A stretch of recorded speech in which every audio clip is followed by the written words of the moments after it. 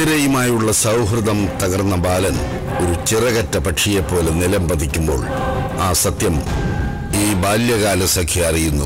പേഷ്യന്റിന്റെ liver വല്ലാത്തൊരു സ്റ്റേജിലായി ഇപ്പോൾ ഉള്ളത്. അതുടനെ മാറ്റിവെച്ചില്ലെങ്കിൽ പ്രശ്നമാണ്.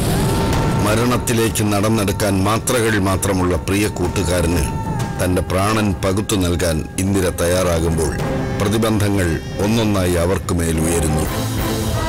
ആവുമോ? ഇന്ദിരയ്ക്ക് തന്റെ പ്രിയ കൂട്ടുകാരന്റെ ജീവൻ രക്ഷിക്കാൻ കാണുക.